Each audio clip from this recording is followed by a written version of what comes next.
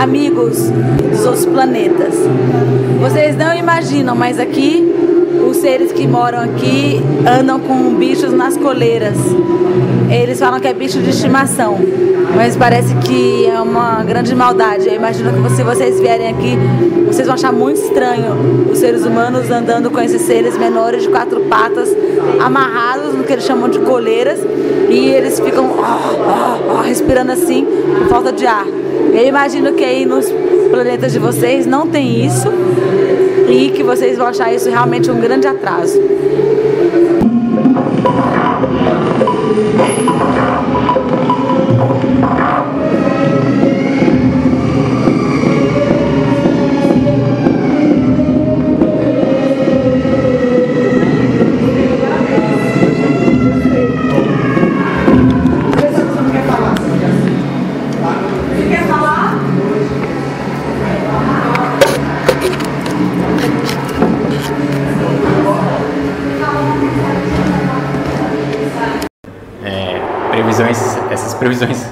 Catastróficas de raios solares e sei lá, qualquer coisa que pode acontecer a qualquer momento. E colonização de outros planetas, essas coisas são mais uma forma de, de tentar se preservar, né?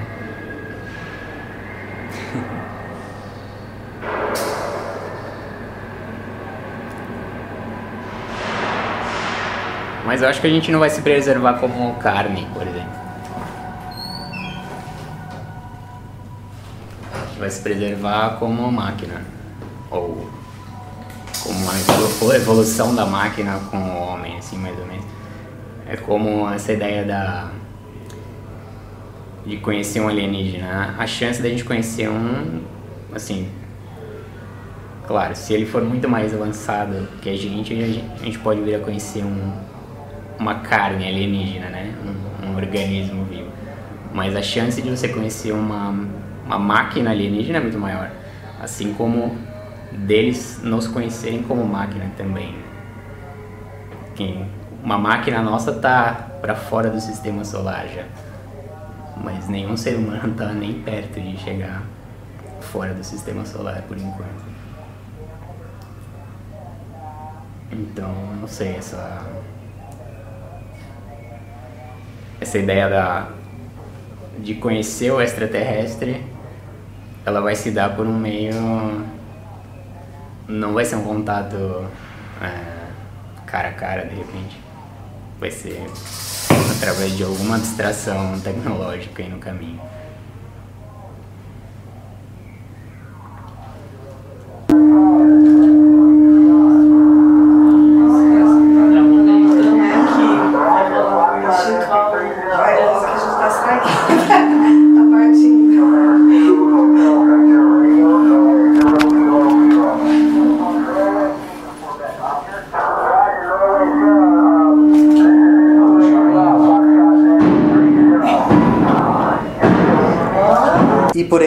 Pensar que que eles estão longe já é, já é errado, sabe?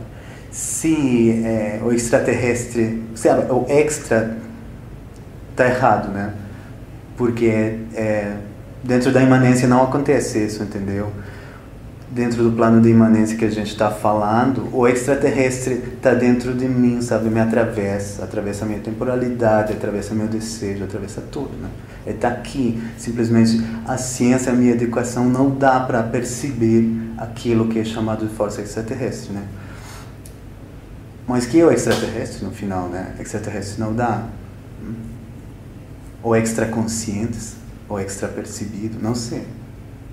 Então, as matrizes de compreendimento e de, de comunicação são as que a gente tem que inventar, né? fazer de novo, sei lá, conhecer novas matrizes. Porque também o a força, sabe como os delfines, né? Todo mundo e os porcos, todo mundo sabe que são super inteligentes, né?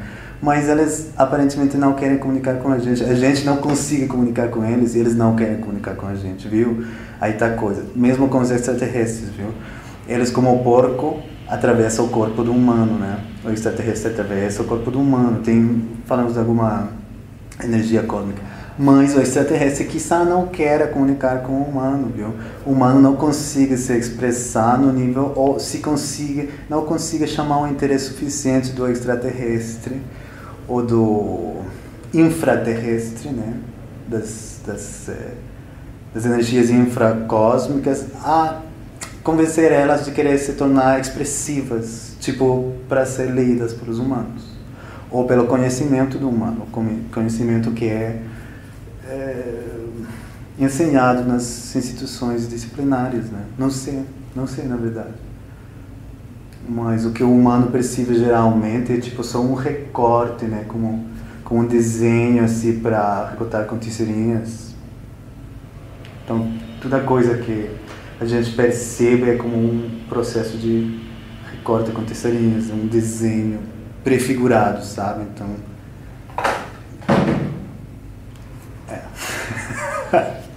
Viu?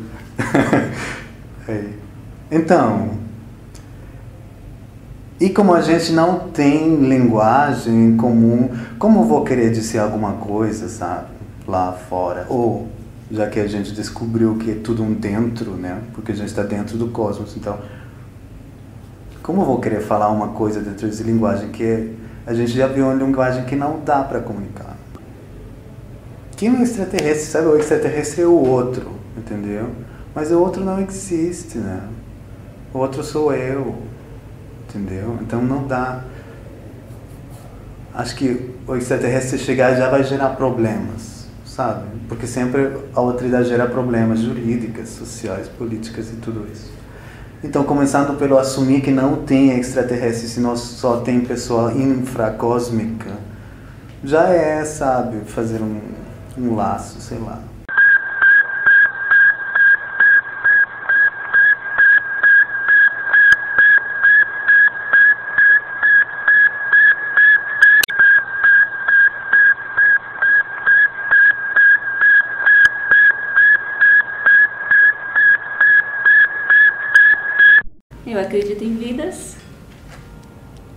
Qualquer lugar.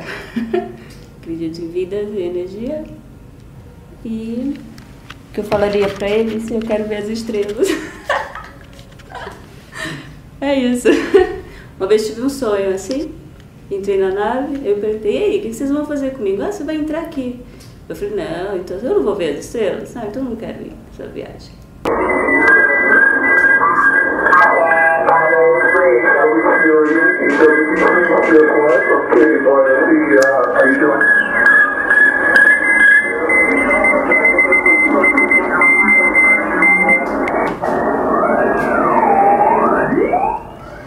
Então, deixa eu te explicar o que está acontecendo.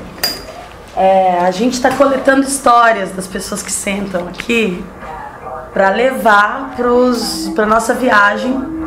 Essa sua fala vai ser decodificada sem perder o sentido, mas ela vai virar um outro código, mas ela vai ser lançada. Não sei se eles moravam aqui, mas acho que eles vinham bastante para cá. Porque sem ter humano, sem ter consciência, né? Tipo, sem ter gente que pode pensar e criar alarde, e, enfim, criar política, criar sociedade, é muito mais fácil, né? Então eu acho que eles deviam vir bastante para cá e tem até teorias mais, mais fortes, assim, de que os deuses gregos mesmo fossem extraterrestres e que faziam trocas genéticas através do sexo. Por isso as experiências gregas são tão controversas e os mitos são tão fortes na psique humana e ao mesmo tempo tão descartados pela igreja, assim, né? É um antagonismo ali justamente porque mora um segredo, né? Mora uma sabedoria humana ou cósmica até, né? A gente é uma na minha na minha concepção nós somos um fruto dessa mistura, né? A gente já é um híbrido. Eu, adivinho, eu provenho de outras galáxias, mas eu estou humano. E eu continuo humano. Me aproveito, me beneficio e tenho, um, um, tenho a necessidade de estar humano agora, assim. Para que, que o universo esteja em paz, para que eu esteja em paz, para que tudo esteja em ordem, é melhor que eu seja humano agora.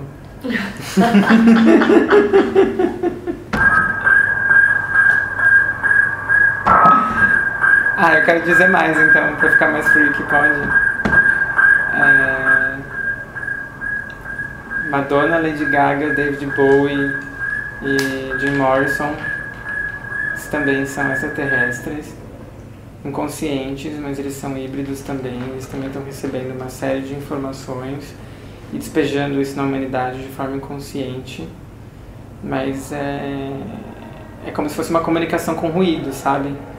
Como se eles caíssem aqui e tivessem antenas muito capazes de receber certas informações, mas eles não podem entender tudo, ou não tinham capacidade de entender tudo. Né? Alguns não têm ainda e se perdem na, na, na, questão de ser humanos, assim, né? Se confundem nisso tudo e às vezes a, a mensagem deles é passada com ruído.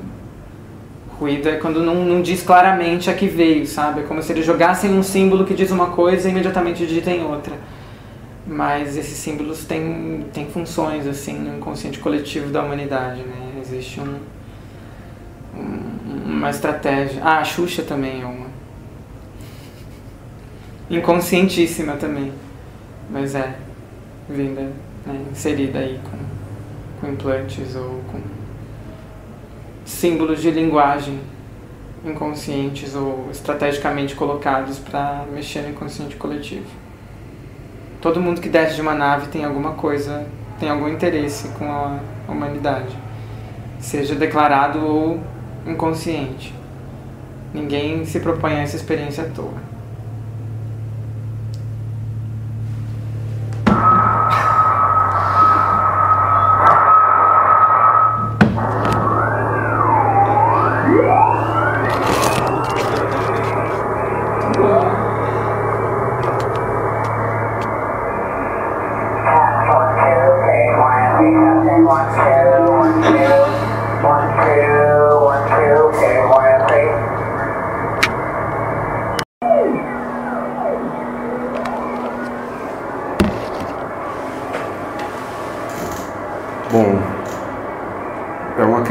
Interessante.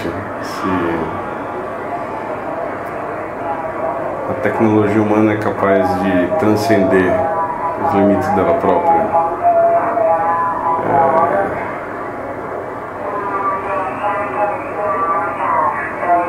A gente não consegue compreender a, a ideia de espaço, a ideia de, de universo, a ideia de infinito. Eu acho que esse fascínio que essas questões colocam para gente é, tem a ver justamente com essa com essa ideia do desconhecido é, é necessária para gente, né? Como ser humano ou, ou como como núcleos de consciência humana de alguma forma. É, e ter questões abertas sem resposta, eu acho que é o grande é, é o grande incentivo para que a gente continue buscando, né? Então eu, eu acho que não, essa transcendência ela é utópica de alguma forma. Eu acho que sim. Utopia é como aquele aquela definição. O Galeano tem uma definição boa de utopia que eu gosto é o horizonte para o qual você caminha. Você nunca vai chegar no horizonte, mas é muito importante, é necessário que ele esteja lá para você caminhar. É, acho que a nossa cabeça, a nossa consciência, ela é feita para caminhar, não para chegar no horizonte. Eu acredito que se existem formas da gente se conectar com outras inteligências, com outras formas de, de, de concepção, é, eu acho que a gente, de alguma maneira, é programado para evitar que isso aconteça. Senão a gente não é mais humano. Eu acho que sim. E poder ou não poder se conectar. É... A gente tem. É bom, a gente já tem tantas formas de vida e a vida se desenvolve no planeta de um jeito tão, tão misterioso. Né? Se você pensar que um fungo é uma forma de vida, você tem uma. Você tem ciclos. E ele, ele cumpre ciclos. Né? É, da mesma forma que a gente, tipo, é uma forma de vida tanto quanto. É, e a gente se conecta com fungos de, de formas não conscientes, né? Quando você ingere um fungo, por exemplo, um macarrão. Pensando num macarrão gostoso com fungo. É, é muito primitivo, né? A forma como a gente interage. Assim. e formas de interação primitivas, né? Então, a, é, que despertam esses, esses tipos de desejos da gente deglutir, ou da gente defecar, ou da gente procriar, que são esses gatilhos, esses gatilhos primordiais que a gente tem e tem que aprender a conviver com eles. É, eu acho que de alguma forma sim, sim, são, são formas de conexão com outras inteligências. Se elas estão dentro ou estão fora do nosso, do nosso espectro, do nosso campo de, de, de possibilidades como ser humano, né? É, não importa, então sim, acho que a gente tem possibilidade de se conectar com outras formas de inteligência de forma não, não racional, não verbal.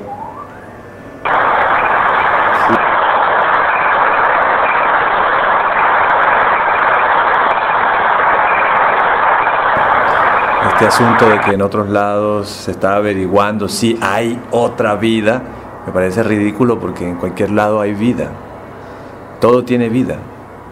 Entonces, eh, pero si vamos a, a, saber si, si en el caso de que pudiéramos contactarnos con, con estas otras formas de vida, que por lo general están asociadas a que se parecen a los humanos, a la humanidad.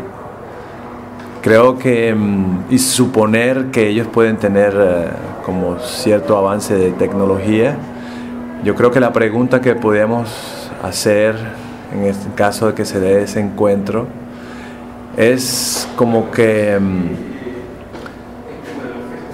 debe, debe, debe haber un ejercicio de organizar em, la manera de retroalimentar la misma vida sin tener la necesidad de, eh, que tenemos ahora de agotar, agotar y agotar, agotar. Somos muy débiles en, en la conciencia de, del retribuir y de sustentar, sostener, mantener, mantener, y creo que ese es un, def- un gran defecto de la humanidad, pues su falta de, de trabajo en, en, eh, disfrutar la vida sin hacerse daño a sí mismo, agotando los recursos. Creo que, y eso vale para todo, para el respeto, para respeto a todo, que es respeto a la misma vida. Entonces, eh, el para qué de la vida, ¿sí?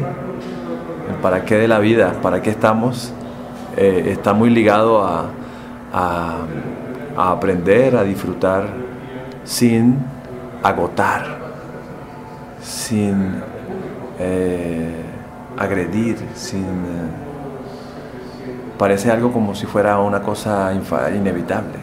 Pero yo, entonces, si estamos presuponiendo que otros u otras especies tienen algo que nosotros debemos aprender o algo que debemos preguntar, por lo cual asumimos que no sabemos todo, entonces es si ellos tienen alguna práctica que pueda ayudarnos a, dejar de estar acumulando y dejar de estar eh, agotando nuestros, nuestra energía, nuestros recursos. Sí. Para disfrutar la vida. Aquí ya estamos en un entorno de, de mucha mucho posibilidad de amor, de riqueza, de, de- buena, buena vibra, buena, sí, ya lo hay, eso ya viene, está en nosotros y está ahí. Pero al mismo tiempo está esta circunstancia en la que todavía necesitamos em, mejorar. Compartir poesía, compartir las formas de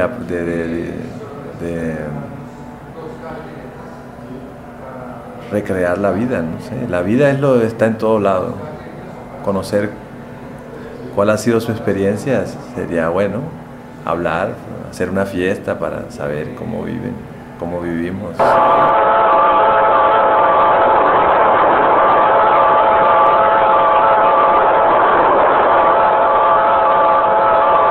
Mas daí depois eu tive, eu tive contato com, com, com Terence Maquina, que é um cara que estuda etnobotânica, alucinógenos, e ele falava muito de alien toda hora, né? Ele falava que encontrava muitos aliens quando ele tomava ayahuasca.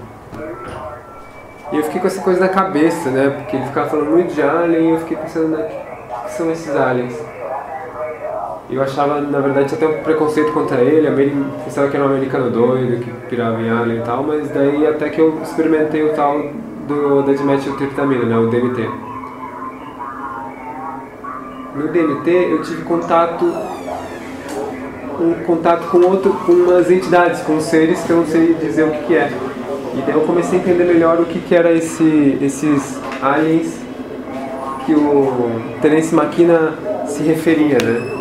Que seriam outras espécies de, de modo de existência que não necessariamente são, são corpóreos e estão presentes nessa dimensão, mas são aliens que estão em dimensões paralelas, que estão aqui agora, mas que são acessíveis somente se você. No meu caso, usando o DMT, né? O DMT me transportou para uma espécie de uma outra dimensão em que eu tive contato com outros seres que, pareciam ter algum tipo de inteligência, eles possuíam tecnologia, me mostravam objetos, eles comunicavam visualmente comigo. E daí eu comecei, daí eu expandi essa minha ideia de alien para uma coisa maior, né? Seres multidimensionais, assim que a gente pode ter contato com eles aqui agora, na verdade. Conseguindo acessar as outras dimensões. Daí eu tive contato com alguns que me.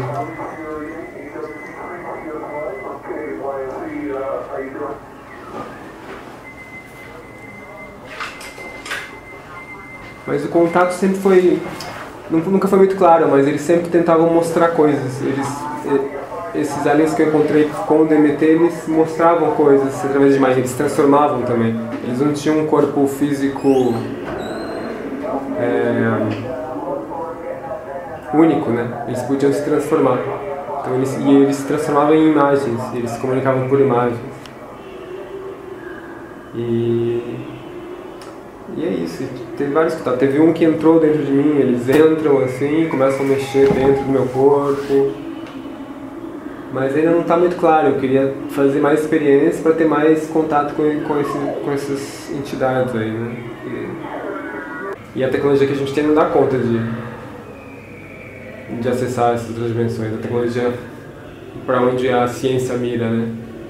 Acho que já existem tecnologias para a gente conseguir ativar essas outras dimensões, mas elas ainda estão um pouco desenvolvidas, ou ainda tem muito preconceito, se considera. Né?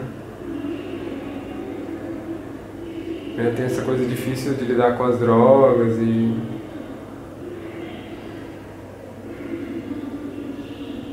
Mas eu acho que é bem por aí mesmo, indo por essa direção da quântica, da- das frequências, do estudo das frequências das ondas, porque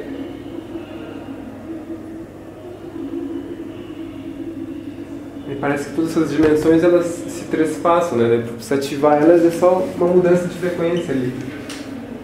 Uma mudança de frequência, um... um é tipo uma rádio multidimensional, né? Você consegue ativar o seu corpo naquela, na frequência daquela dimensão, você tem certo acesso.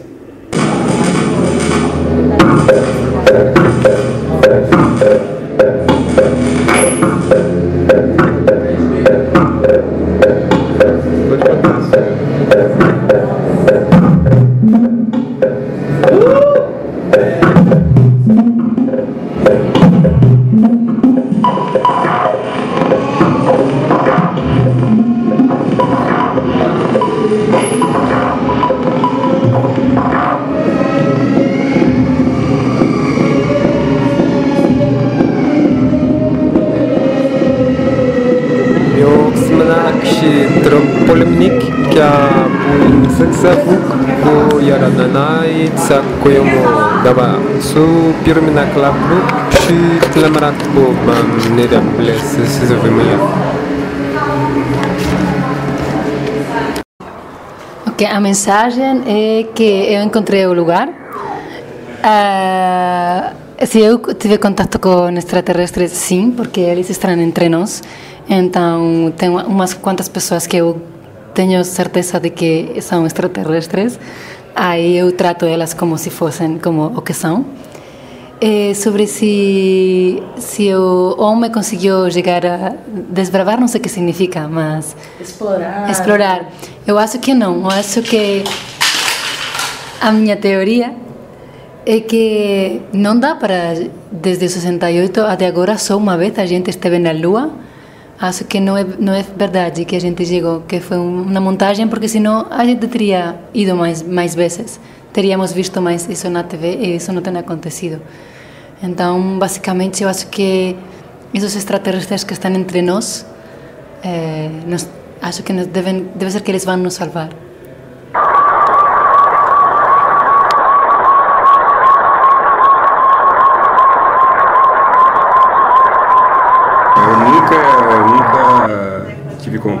E nunca tive essa experiência de ter contato, mas já ouvi falar de várias pessoas que foram abduzidas, já tiveram contato, já participei de palestras sobre ufologia, eu acho interessante. Mesmo na linha da, da ufologia espiritualista e da ufologia científica, né? Que são duas correntes de, de- E eu acho super interessante essa, essa e você, como já dizia o Carl Sagan, a evidência de ausência não, quer dizer ausência de evidência. Você não pode descartar em hipótese nenhuma vida em outros planetas, né? dada a imensidão do universo. né?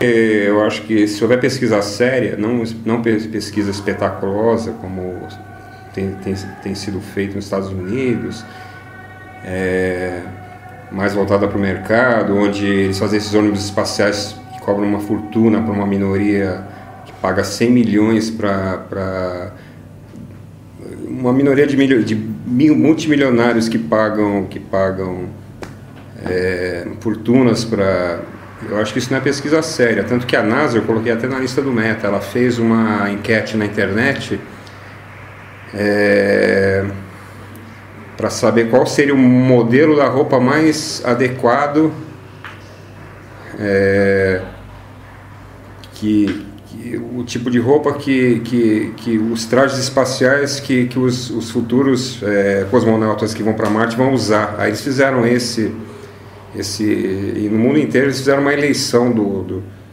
isso, isso aí não é pesquisa séria para mim é é pesquisa. Eu acho que, inclusive, você que fez a tese lá, deve saber melhor do que eu. Eles estão privatizando toda a cadeia da pesquisa aeroespacial lá, né? A NASA está algumas algumas áreas de pesquisa, eles estão privatizando tudo lá, né? Eu acho isso nocivo, né? Eu acho que haveria haveria uma possibilidade disso avançar se houvesse uma uma uma espécie de seriedade de uma comunidade internacional envolvida numa pesquisa coletiva. Aí o meta-reciclagem pode- poderia ser até um exemplo metafórico. Trabalho coletivo entre todos os países e um fundo, né? um fundo de é, priorizando. Né? E eu acho que mesmo a preservação ambiental não é incompatível com a pesquisa aeroespacial, né? se for feita com critério. Né? Porque muitos falam, pô, os caras ficam se preocupando em mandar homem para Marte e o africano passando fome. Né? Uma coisa não tem nada a ver com a outra. Entendeu? São duas coisas diferentes. É, o que tem a ver é a ética, né? Tanto que a maioria do dinheiro que vai para a África é embolsado pelos ditadores. Ela não chega no, no- no- nos, nos campos de refugiados. né? O dinheiro que os Estados Unidos manda para os países africanos. Mas eu acho que se houvesse pesquisa séria, comprometida, desvinculada da política, aí eu acho que havia uma possibilidade de avançar. Entendeu? Contato eu acho difícil, porque se o, se o se esses seres for, for- forem, forem altamente evoluídos, né, e a organização é, fisiológica deles partir de um outro princípio que não carbono, não sei, eles jamais vão fazer uma- um contato com, com o homem nesse estágio atual, porque é, fatalmente, se houvesse um contato aí, o homem, o homem buscaria uma, uma forma de preda, predatória de ou seja ele ele ele ele ia obrigar esses seres a, a, a entregar o elixir da imortalidade para ele né? Aí ele ia devastar o planeta agora se, se, se eles eu, aqui é uma, uma perspectiva pessimista se, se esses seres forem muito superiores no sim que sentido né de consciência de uma metaconsciência eles vão querer acho que as pessoas mais indicadas para contatá-los são os espiritualistas verdadeiros, né? Agora, se eles forem inferiores, o homem vai dominar e matá-los né? e, e, tentar conquistar, né? Nesse estágio atual, eu acho, eu acho isso, né? E toda essa, e toda pesquisa aeroespacial visa, visa a economia, eu tenho certeza. Formação de novos remédios, não tem nada, é, é, não existe nenhuma utopia de de troca de, de conhecimento com outras. Eu acho que é tudo viso mercado. Né? Eu, na minha visão, é essa. E a mensagem que eu ia mandar para eles: fu fujam dos Yankees. Não, eu, é, deixa eu dar uma mensagem para eles. Se vocês forem conversar com alguém, procurem o Dalai Lama. Não procurem nenhum cientista da NASA. Acho que eu queria mandar.